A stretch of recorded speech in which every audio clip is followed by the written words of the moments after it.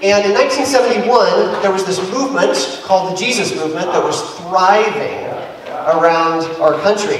Um, it was gaining lots of, lots of momentum, and there were loads of people called Jesus people running around and uh, coming to Christ, and many of you lived through this movement. Did you not? So uh, help me out because I was born after the Jesus movement um, started. Um, I was born in the middle of the Jesus movement, so um, I don't remember the Jesus movement. I'm curious, what was it all about? I mean, when you think about the Jesus movement, those of you who lived through it and experienced some of it, when you saw it, when you remember back, what, what were they doing? What was the whole point? What were they trying to get at in the Jesus movement? So it's a movement that kind of sparked some new things Yeah. and agitated the church to Yeah. be different. Okay. So revival. Yes. A revival of the church. So it's pushing the country in a good way. Was there a good response to the Jesus movement, or how did how did it go just culture wide? Was it kind of looked at as like, wow, those people are wacky, or was it Yes. was there both? Is that what you said? It was kind of, go get over it. They'll get over it. yeah, they'll figure it out. So, Don? Yeah, yeah, right. Most people call them Jesus freaks. Part of the hippie, it had a relationship. Yeah. Hippie fringe. Jesus oh Jesus, sandals. Because you want to walk like Jesus. So as, as if you didn't hear, as a non-believer at the time, it just didn't seem like it was for them, but there was something. We knew there was something. There was something going on. Wow. So Karen Lafferty was a woman um, who was a product of the Jesus movement. She, um, she was in college at the time that the Jesus Jesus movement launched. And uh, she was she graduated from school in 1970-71, and she uh, received a music degree when she graduated. She came to know Jesus, and she became a worship leader at Calvary Chapel in Costa Mesa, which was one of you know the, the leading churches in the whole Jesus movement, at least on the West Coast, and beginning of the whole Calvary Chapel movement. And uh, Karen was in a Bible study uh, one time in this in this year or so with a group of friends, and they were studying Matthew chapter six. And as they were reading it and praying through it and studying it, there was a verse that seemed to pop out and sit with her deeper than the others. And so, being a musician and a worship leader, she wrote a song about that verse. Uh, it's possible that you might, maybe, know the song. It goes like this.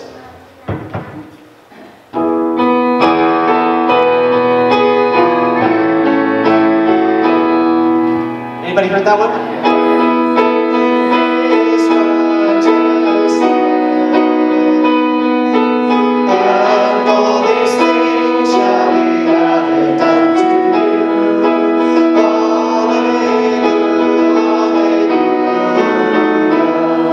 If you've been around church at all, or if you've been alive, you know that song.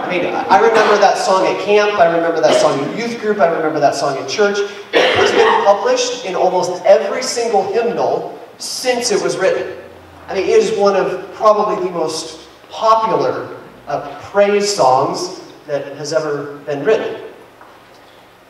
So, what's it about? I mean, seek the kingdom, live righteously. What's going to be added? Why, is, why is Jesus talking about these things? I think Jesus was talking about all this because Jesus cares about how we live. Jesus cares about every decision we make. Jesus doesn't just care about our eternity and our future someday and heaven. Jesus cares about everything we do. You know, he cares about how we pray. He cares about how we use the stuff we have. He cares about the decisions we make. He cares about how we treat people. He cares about everything. And that's not just someday in the future when we're in heaven. That's now. And so Jesus has this deep, abiding passion for the stuff that happens here and what we do. And because of that, Jesus talked about these kinds of things. We, we're calling these the fine print things this year uh, because it's the details, it's the minutia of how do we work out a relationship with God. You know, if the big picture, if the whole idea of God in the Bible is that we have a relationship with God, this is the, well, how does it work? You know, how does it work every moment and every day and in, at every turn of decisions and things that we deal with? How does it work? And so most of the books about Jesus, you know, the Matthew, the Mark, Luke, and John, most of those books are about fine print stuff. It's about the details. Jesus talks most of the time about how to deal with things and how to make a decision and where to go and what to do. That's most of what we live with. And so Jesus cares deeply about how we live and what we do. He cares about the fine print kind of things. So Jesus' largest block of teaching that he gave is called the Sermon on the Mount, and we've been looking at that for the past few weeks, looking at different parts of it and how it relates to living out a relationship with God. We've covered all kinds of topics, and we've covered prayer, and we've covered um, some other things. I'm sure they were important. we've covered all kinds of things in the Sermon on the Mount. Give me a second, I'm sure. Oh, we, we, we covered the whole salt and light. How do we salt and light? We covered, we covered the law. See, it's coming back. It's coming.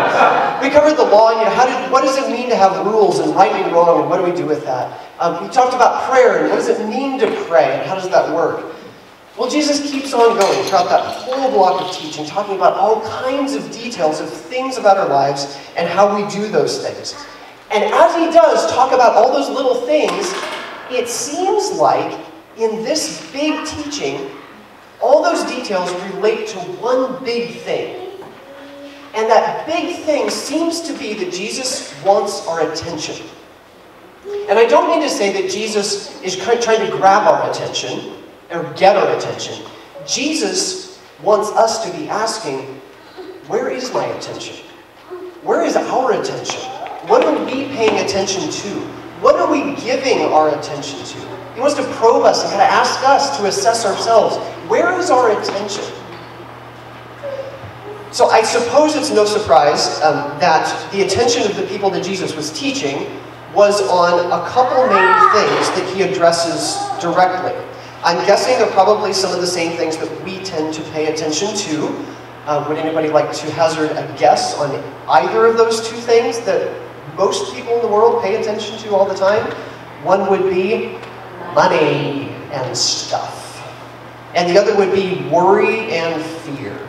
Anybody experienced either one of those? Thinking about money and stuff, thinking about worry and fear? All right, every hand, every hand. Because we do. Every, everybody thinks about money and stuff because we have to, and worry and fear because we do. We all deal with all of these things. We're no different than they are, and they're no different than we are.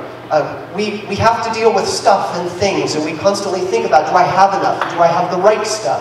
Do I need new stuff? And if so, how do I get that stuff? And then we wonder, how do I take care of that stuff? And I'm worried about things, and I'm worried about other people, and I don't know where to go, and I have fears about what to do. And so Jesus, knowing that this is all a part of our lives, Jesus says this Don't store up treasures here on earth where moths eat them and rust destroys them, and where thieves break in and steal. Store your treasures in heaven where moths and rust cannot destroy, and thieves do not break in and steal. Wherever your treasure is, there the desires of your heart will also be. I think the word treasure is kind of formal. So let's put another word in there. Let's put stuff in there.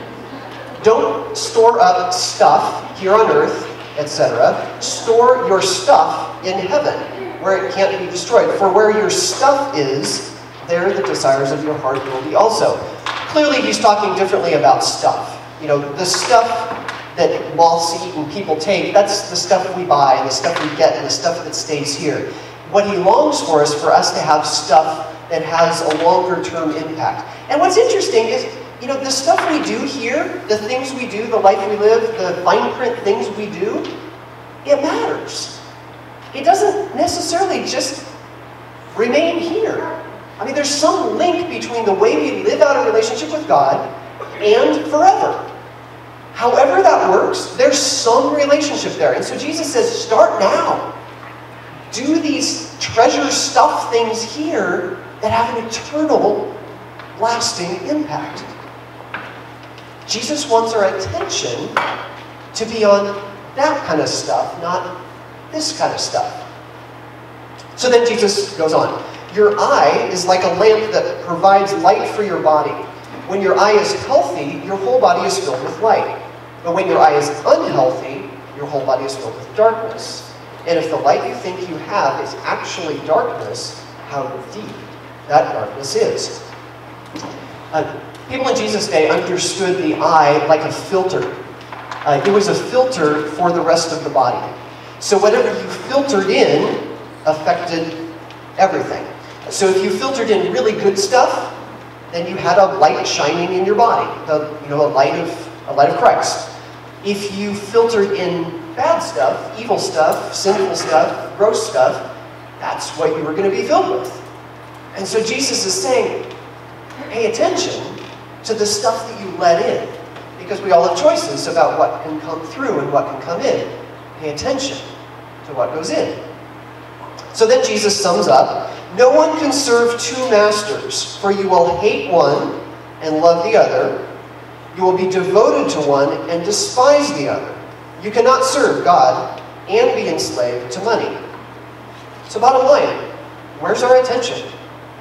Is it on this? Is it on that? Is it on light? Is it on darkness? Is it on money? Is it not? I mean, is it on stuff? Is it on eternal things? Where's our attention? Because Jesus wants our attention. Because where our attention will be, where our eye is, where our stuff is, that's where our heart or the rest of us will be. That's just the natural correlation. So what are we going to pay attention to? That's the money part. Now the worry part.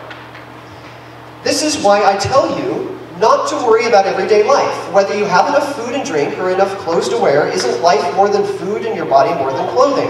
Look at the birds. They don't plant or harvest or store food in barns, for your heavenly Father feeds them. And aren't you far more valuable to Him? Do you have a word in there? Hmm, There's an extra word in mine. I don't know why I had the word really in here. Um, it would read, Really, aren't you far more valuable to Him than they are? Anyway, can you all can all your worries add a single moment to your life? And why worry about your clothing? Look at the lilies in the field and how they grow. They don't work or make their clothing, yet Solomon in all his glory was not dressed as beautifully as they are. And if God cares so wonderfully for wildflowers that are here today and thrown into the fire tomorrow, he will certainly care for you. Why do you have so little faith?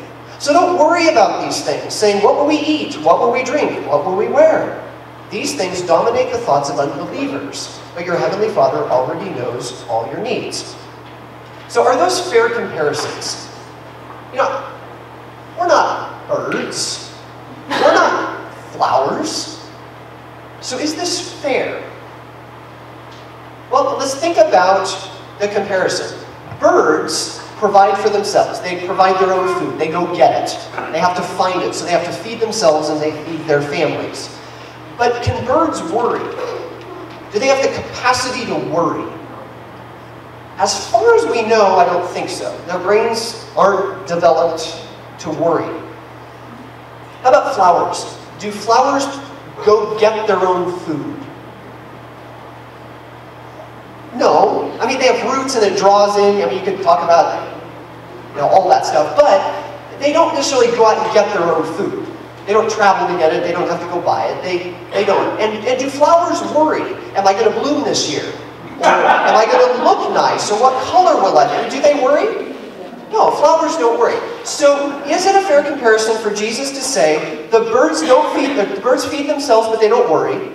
The lilies don't feed themselves and don't worry, and so you don't worry. Because they don't have to do as much as we do. But Jesus' point is that God cares for them and provides all the stuff they need, and they can't even have the ability to go get it.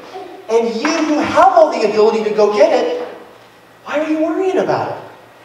You have far, we have far more ability than they do, and still we're provided for. Where's our attention? Is it on the fact that God provides for everything, and yet we still worry? Or is there our attention on the fact that we just have a huge responsibility and we've got to go get it and we have lots of things that we need to worry about? Well, so Jesus summarizes this whole idea just a verse later. And he says, So don't worry about tomorrow, for tomorrow will bring its own worries. Today, today's troubles Trouble is enough for today. We've all heard that verse a million times, and we probably told it to somebody. Don't worry, tomorrow's enough worries. Just relax, it's okay. Have you ever described somebody as a stoic? And what does it mean when you describe somebody as a stoic? Now, that person's kind of stoic. What does that mean? Sorry. Barbara, what does it mean? Like, no emotion, but they, they, they handle a lot, but you don't see their stress. Okay, no emotion, handle a lot, don't see the stress. They do not show their emotion. emotion. Yeah. Flat emotionally. Can a stoic be a grumbler? And a stoic be a Marcus. Aurelius. What's that? Marcus Aurelius. Marcus Aurelius was a stoic. Yes. Anything? Eh? Non-feeling. Non-feeling. Yeah, the Stoics are just kind of even-keeled and no emotion. Sometimes it's a good thing. Is it? Uh, sometimes it's a bad thing too. I mean, it's not always a compliment to be called a Stoic. In Jesus' day, Stoicism was the rage. It was an up-and-coming movement. It was like the Jesus movement in the 70s.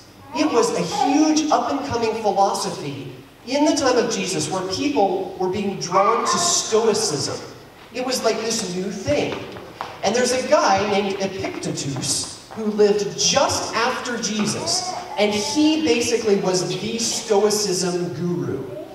And he articulated the stuff that people have been talking about and thinking about related to Stoicism right before him. So he, he summarized Stoicism. And here's what he says about worry. He says?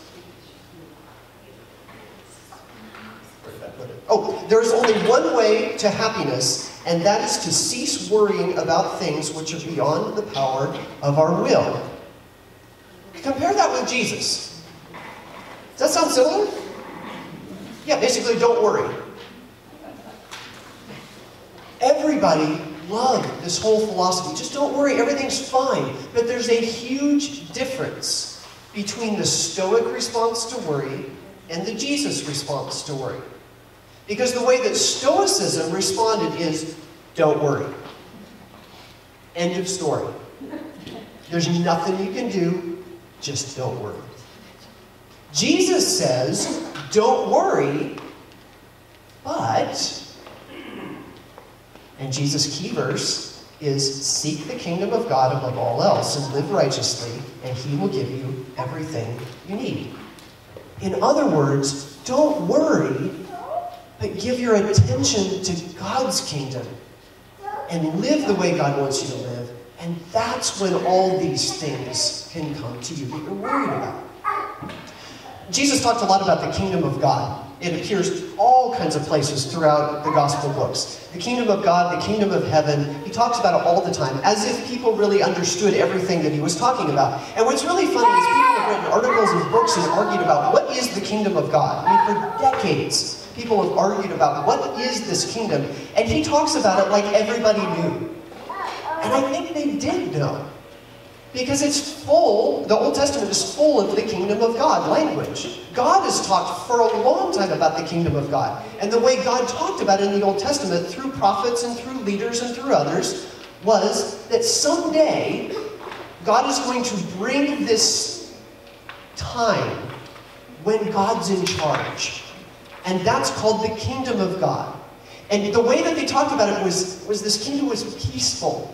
And this kingdom is, is going to be beautiful. And this kingdom is going to reward you and give you everything you ever wanted. This is the kingdom that God sets up for us. It's full of everything that people long for. And so when prophets would talk about that, it would give people the sense of, okay, I can last through this. When rulers would talk about it, people would say, well, I, want this now, and maybe you're the king that can bring that kingdom. So kingdom language, kingdom of God was all over the place for people. Now, of course, we don't live in kingdoms and we don't have kings, so it doesn't resonate with us quite in the same way. But when Jesus said, seek the kingdom above all else, they knew what he's talking about. Seek that thing that God's going to bring. Seek that thing that God has promised for a long time that fulfills the desires of your heart. That's the kingdom. But Jesus talked about it differently too. Jesus didn't talk about it as something that God's going to bring someday way out there. Jesus talked about it here. Like Jesus was actually bringing the kingdom. So when Jesus said, seek the kingdom, it's like Jesus is saying, join in, because it's already here. Jesus brought the kingdom so that we could experience this thing that God has promised for us. And the way we experience it is we live in a relationship with God. And when we live in that relationship, we experience all this that God has in store for us. We get to live the kingdom. And so when Jesus says, seek the kingdom of God, it's not seek it and look for it like I can't quite find it, seek it out. It's pursue it. Give your attention to it.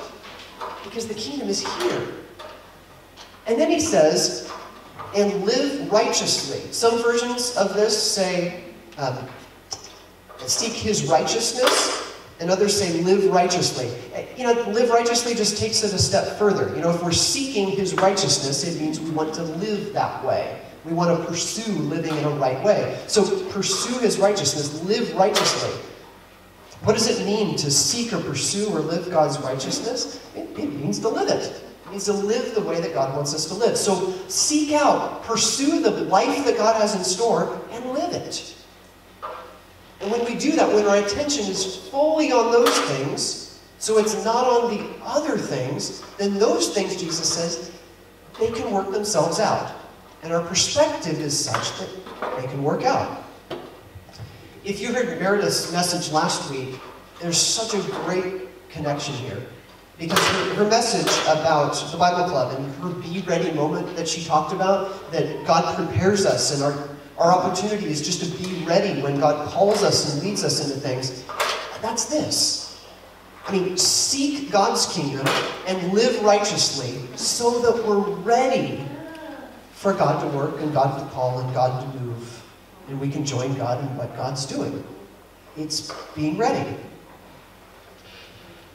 So I wonder, what one thing could we do so that at the end of today, or at the end of any day, we could say, I sought God's kingdom today. I lived the way that the kingdom wants me to live. I mean, it, it can be just ordering things differently, so our attention is on that. It could be cutting something out and bringing something new in. It could be getting rid of something that's not wise and putting something in its place. I mean, it can be any kinds of things. But how could we do something so that at the end of the day we could say, I sought out God's kingdom. That's where our attention is. And Jesus says, where our, our treasure is, our heart will be also. When our attention is on it, then our lives follow suit. So, would you stand? And I think we have a song to sing.